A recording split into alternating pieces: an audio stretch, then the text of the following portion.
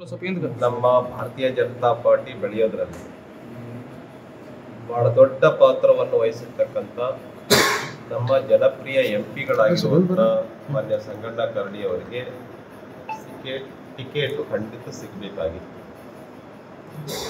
ಈಗ party ticket ಅನ್ನ announcement ಮಾಡಿದೆ. ಅವರಿಗೆ ಟಿಕೆಟ್ ಸಿಕ್ಕಿಲ್ಲ.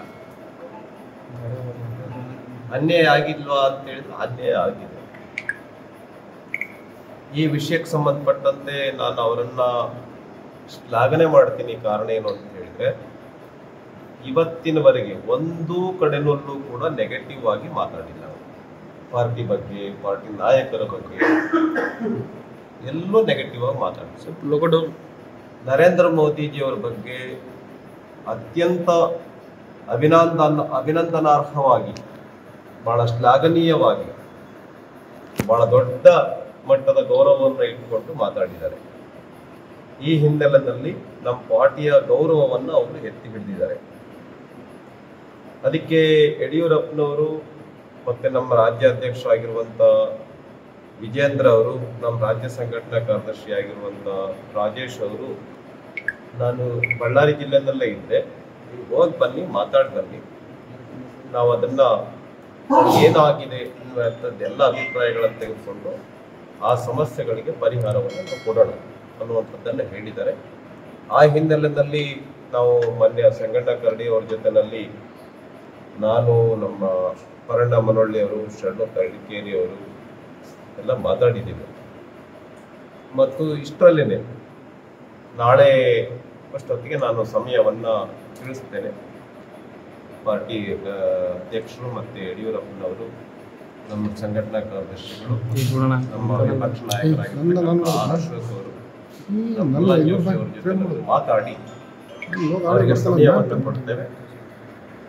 ಚುನಾವಣೆಗೆ ಈ ಕೊಪ್ಪಳ ಸೀಟನ್ನ ನೂರಕ್ಕೆ ನೂರು ನಮ್ಮ ಸಂಗಣ್ಣ ಕರಡಿ ಹೇಗೆ ಗೆದ್ರು ಅದೇ ರೀತಿಯಲ್ಲಿ ಈ ಸೀಟನ್ನು ಕೂಡ ನಾವು ಗೆಲ್ತೇವೆ. ಅದರಲ್ಲಿ ಬಹಳ ದೊಡ್ಡ ಪಾತ್ರವನ್ನ ನಮ್ಮ ಮಾನ್ಯ ಸಂಗಣ್ಣ ಕರಡಿ ಅವರು ವಹಿಸ್ತಾರೆ ಅವರೇ? ಸಂಗಣ್ಣ ಕರಡಿಯವರು ಪ್ರಚಾರಕ್ಕೆ ಬರ್ತಾ ಇದ್ರೆ ಚುನಾವಣಾ ತೊಡಗು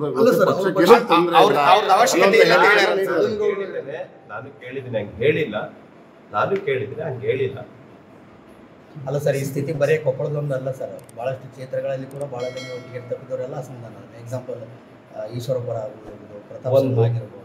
ಎರಡು. ಇವರಾಗಿರ್ಬೋದು ಸರ್. ಎರಡು. ಇದೇನ್ ಸದಾನಂದ ಗೌಡ ಅವರು ಸದಾನಂದ ಗೌಡ ಏನ್ ಹೇಳಿದ್ದಾರೆ ಈಗ?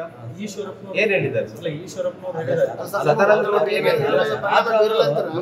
ನಿಮ್ಮಲ್ಲಿ ಶುದ್ಧೀಕರಣ ಆಗ್ಬೇಕು ನಿಮ್ಮ ಪಕ್ಷ ಶುದ್ಧೀಕರಣ ಆಗ್ಬೇಕು ಅನ್ನೋದು ಹೇಳಿದಾರೆ ಅಂದ್ರೆ ಇಟ್ ಮೀನ್ಸ್ ನಿಮ್ಮಲ್ಲಿ ಅಷ್ಟೊಂದು ಕೊಳಕಿದೆನಾ ಅಂತ. ನೋಡಿ ಪಾರ್ಟಿನಲ್ಲಿ ಕುಟುಂಬದಲ್ಲಿ ಸಣ್ಣ ಪುಟ್ಟ ಸಮಸ್ಯೆಗಳು ಇರುತ್ತೆ. ಅದನ್ನ ಬಗೆಹರಿಸಿಕೊಳ್ಳಿ.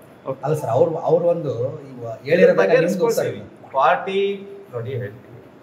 ಪಾರ್ಟಿನಲ್ಲಿ ಈ ರೀತಿ ಸಣ್ಣ ಪುಟ್ಟ ಗೊಂದಲಗಳು ಯಾವುದೇ ಪಾರ್ಟಿನಲ್ಲಿ ಇರುತ್ತೆ ಬಹಳ ಚೆನ್ನಾಗಿದೆ ಕಾಂಗ್ರೆಸ್ನಲ್ಲಿ ನಲವತ್ತು ಸೀಟ್ ಗೆದ್ದಿದ್ದಾರೆ.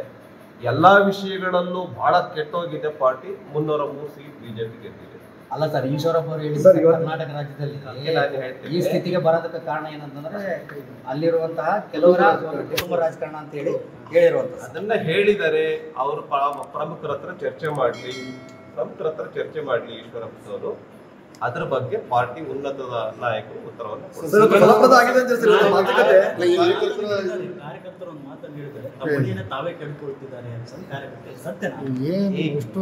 ಇಲ್ಲ ಈ ತರ ಸ್ವಲ್ಪ ಟಿಕೆಟ್ ಇದನ್ನೆಲ್ಲವನ್ನು ಪಾರ್ಟಿನಲ್ಲಿ ಸಾಕಷ್ಟು? ಅವಕಾಶಗಳಿದೆ. ಪಾರ್ಟಿ ಸರ್ಕಾರ ಕೇಂದ್ರ ರಾಜ್ಯ ಸಾಕಷ್ಟಿದೆ. ಇದ್ರೊಳಗಡೆ ನಮ್ಮೆಲ್ಲ ವಿಶೇಷವಾಗಿ ಸಂಗಣ್ಣ ಕರಡಿ ಅವರಿಗೆ ನಾವು ಸರ್, ಗಮನಿಸ್ತೀವಿ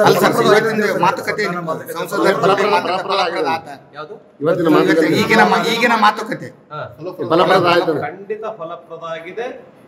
ಇನ್ನೊಂದು ಎರಡು ಮೂರು ದಿನದಲ್ಲಿ ಸಂಗಣ್ಣ ಕರಡಿ ಅವರು ಹೇಗೆ ಆಕ್ಟಿವ್ ಆಗಿರ್ತಾರೆ?